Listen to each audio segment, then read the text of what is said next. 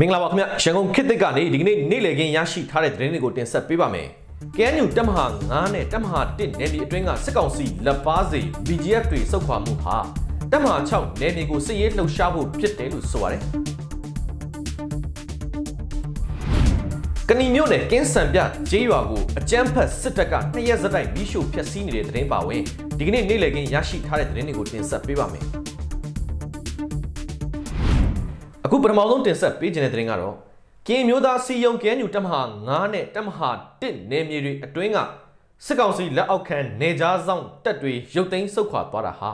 တမဟာ6ဒူပလီယာခရိုင်အတွင်းစည်ရေးလှုပ်ရှားမှုပြုလုပ်ဖို့သာဖြစ်တယ်လို့တမဟာ9မူထရောခရိုင်ဗျူဟာမှုဘုံမှုစောဂီနွီကမူထရောသတင်းစင်ကိုပြောထားပါတယ်နေကြားဆောင်တက်ပြန်ရုပ်သိမ်းတယ်ဆိုတာကယာယီအတက်တွေကိုပဲပြန်ရုပ်သိမ်းတာဖြစ်ပြီး နေကန်နေကြားဆောင်တက်တွေဖြစ်တဲ့2017 2013နဲ့2014တွေကတော့ပြန်ရုပ်သိမ်းခြင်းမရှိတဲ့အပြင်တမဟာ6နယ်မြေမှာပြန်လုံရှားဖို့အတွက်ပြင်နေတာပါလို့ဘုံမှုစောဂီနွီကပြောပါတယ်မေလ9ရက်နေ့မှာ KNU တမဟာ9နဲ့တမဟာ1နယ်မြေအချို့က BGF တပ်ဖွဲ့ဝင်တွေဟာကား68စီးနဲ့စုခွာသွားပြီးမေလ26ရက်နေ့မှာတော့တမဟာ1 4K စခန်းက BGF တွေထပ်မံစုခွာသွားတယ်လို့ KNL သတင်းရင်းမြစ်တွေစီကနေသိရပါတယ်။ KNU တပ်မဟာ1တထုံဒူးတထုခရိုင်အတွင်းကအကြမ်းဖက်စစ်ကောင်စီတပ်နဲ့ BGF တွေတက်ဆွဲထားတဲ့ 4K စခန်းဝင်းဒပန်စခန်းတွေကတပ်ဖွဲ့ဝင်တွေကို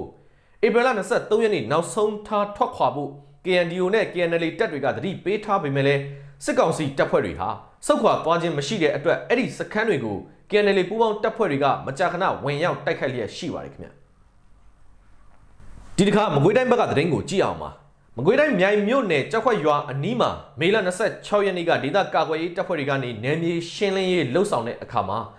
အကြမ်းဖက်စစ်တပ်ကတပ်ဖြတ်ထားတဲ့ရုပ်လောင်း၅လောင်းတွေ့ရှိခဲ့တယ်လို့နယ်မြေကန်သတင်းရင်းမြစ်ဖြစ်တဲ့မြိုင်မြို့နယ်ຫນွေဦးတော်လန်ရေးအဖွဲ့အစည်းကနေသိရပါတယ်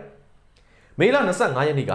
အကြမ်းဖက်စစ်တပ်နဲ့ဒေသခံကာကွယ်ရေးတပ်ဖွဲ့တွေဟာကြောက်ခွက်ရွာအနီးတိုက်ပွဲဖြစ်ပွားခဲ့ပြီးတဲ့နောက်မေလ26ရက်နေ့မှာနယ်မြေရှင်းလင်းရေးလှုပ်ဆောင်ခဲ့ပါတယ်။အဲ့ဒီမှာ အကြမ်းဖက်စစ်တပ်ကတပ်ဖြတ်ထားတဲ့ပြည်သူ9ဦးရဲ့ရုပ်လောင်းတွေကိုတွေ့မြင်ခဲ့တာဖြစ်တယ်လို့ဆိုပါတယ်။ရုပ်လောင်းတွေဟာဘယ်သူဘယ်ဝါဆိုတာအတီးပြုတ်ဖို့ခက်နေပြီးရွာတွေအကုန်လုံးကထွက်ပြေးနေရတာဆိုတော့တချို့ဆိုမိသားစုတွေတကွဲတပြားနဲ့အတီးပြုတ်ဖို့ခက်နေတယ်လို့ဒေသခံပြည်သူတို့ကပြောပါတယ်။အဲ့ဒီလိုအကြမ်းဖက်စစ်တပ်ကတပ်ဖြတ်သွားတဲ့ပြည်သူ9ဦးရဲ့ရုပ်လောင်းတွေကိုဒေသခံကာကွယ်ရေးတပ်ဖွဲ့တွေကမိသကြိုပေးခဲ့တယ်လို့သိရပါတယ်ခင်ဗျာ။ အခုတခါစကိုင်းတိုင်းကသတင်းကိုဆက်ချင်ပါတယ်စကိုင်းတိုင်းကဏီမြို့နယ်ချင်းတွင်းမြစ်ကမ်းမှာရှိတဲ့ကင်းစံပြကြေးရွာကိုအကြမ်းဖက်စစ်တပ်ကဒီကနေ့မေလ28ရက်နေ့မနက်6နာရီလောက်မှာထပ်မံမီးရှို့ဖျက်ဆီးနေတယ်လို့ဒေတာသတင်းရင်းမြစ်တွေစီကနေသိရပါတယ်မနေ့ကလည်းအဲ့ဒီရွာကိုအကြမ်းဖက်စစ်တပ်ကမီးရှို့ခဲ့ပါသေးတယ်အကြမ်းဖက်စစ်ကောင်စီတပ်ဖွဲ့တွေဟာချင်းတွင်းမြစ်အထက်ပိုင်းကနေရေရင်ရှစ်စီးနဲ့စုံစင်းလာခဲ့ပြီးမေလ25ရက်နေ့နေ့လယ်တနာရီကျော်လောက်မှာအထက်ကင်းကျေးရွာကိုမီးရှို့ခဲ့တာဖြစ်တဲ့အပြင်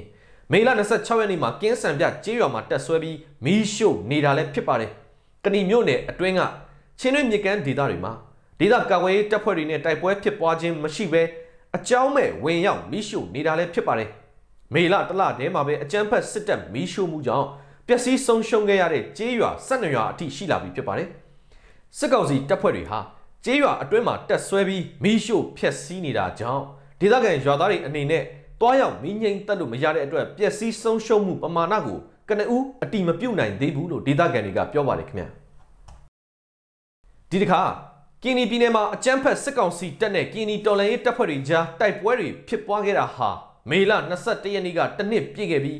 တနစ်တာတိုက်ပွဲတွေအတွင်းစစ်ကောင်စီအကြမ်းဖက်တပ်သားတထောင်နီးပါးကိုရှင်းလင်းနိုင်ခဲ့တယ်လို့ကင်းနီအမျိုးသားများကာကွယ်ရေးတပ် KNDF စီကနေသိရပါတယ်။ တိုက်ပွဲတွေမှာပြည်သူလူထုတွေရဲ့ပူးပေါင်းပါဝင်ထောက်ပံ့မှုတွေကြောင့် KNDF ရဲဘော်တွေကိုထိုက်တင်သလောက်လက်နက်တပ်ဆင်ထားနိုင်ခဲ့ပေမဲ့တပ်ဖွဲ့ဝင်တဦးချင်းစီတိုင်းကိုလက်နက်အပြည့်စုံတပ်ဆင်နိုင်ဖို့တိုက်ပွဲတွေမှာလက်နက်ကြီးလက်နက်ငယ်အပြည့်စုံပါဝင်နိုင်ဖို့အခက်အခဲရှိနေသေးတယ်လို့လည်းဆိုပါတယ်။အဲ့ဒီအတွက်အခုဆိုရင်မမများနဲ့ပွဲကမယ်ဆိုတဲ့ project နဲ့လှုပ်ဆောင်နေတာတွေရှိပြီးဒီအစီအစဉ်မှာပြည်သူလူထုအနေနဲ့ပါဝင်ပေးနိုင်မယ်ဆိုရင် ကြီးမားကောင်းမွန်တဲ့ရလက်ကြီးတွေကိုရမှာဖြစ်တယ်လို့ KNDF အတွင်းရေးမှူးနှစ်မာဝီကနေပြည်သူတွေကိုတောင်းဆိုထားပါတယ်။ຫນွေဦးတော်လှန်ရေးအတွက်နိုင်ငံအသီးသီးမှာရှိတဲ့ရန်မုံငွေရှာဖွေပေးနေတဲ့သူတွေကမေလ26ရက်ကနေဇွန်လ15ရက်နေ့အထိရက်ပေါင်း21ရက်အတွင်းမမများနဲ့ပွဲကမယ်ကမ်ပိန်းအတွက်3500ကျပ်ကိုရရှိဖို့ရည်ရွယ်ထားတယ်လို့လည်းသိရပါတယ်။ ကမ်ပိန်းကရရှိလာတဲ့အလှူငွေတွေကိုအမျိုးသားညီညွတ်ရေးအစိုးရ MG ကာကွယ်ရေးဝန်ကြီးဌာနကတဆင့် KNDF စီကိုတရားဝင်ပေးပို့ကူညီသွားမှာဖြစ်တယ်လို့လဲကမ်ပိန်းကိုစီစဉ်ဆောင်ရွက်နေတဲ့သူတွေစီကနေသိရပါတယ်။ဒါအပြင်ပြည်သူလူထုတရက်လုံးကအတူရှိနေတယ်ဆိုတဲ့စိတ်နဲ့မြေပြင်မှာတိုက်ပွဲဝင်နေပြီးပြည်သူလူထုမျှော်မှန်းတဲ့ရကျင်တဲ့နိုင်ငံရေးမျှော်မှန်းချက်တွေကိုရဖို့နေ့စဉ်နဲ့အမျှစ조사ပြီးတိုက်ယူနေပါတယ်လို့ KNDF အတွင်းရေးမှူးနှစ်မာဝီကရှင်းပြထားပါတယ်။ အခုကမ်ပိန်းဟာပထမခြေလှမ်းအနေနဲ့ KNDF စီကိုအားဖြည့်ကူညီတာဖြစ်ပြီးစကိုင်းမကွေးချင်းပြည်နယ်တွေမှာရှိတဲ့တော်လှန်ရေးတပ်ဖွဲ့တွေစီကိုဆက်လက်အကောင့်ထဲပေါ်ထောက်ပံ့သွားမှာဖြစ်တယ်လို့လည်းသိရပါတယ်ခင်ဗျာ။ဟုတ်ကဲ့ဒါကတော့ရန်ကုန်ခေတ်သစ်ကနေဒီကနေ့နေ့လည်ခင်းရရှိထားတဲ့သတင်းတွေကိုတင်ဆက်ပေးခဲ့တာပါကြည့်ရှုပေးခဲ့တဲ့အတွက်ကျေးဇူးတင်ပါတယ်ကျွန်တော်နားငယ်ပါ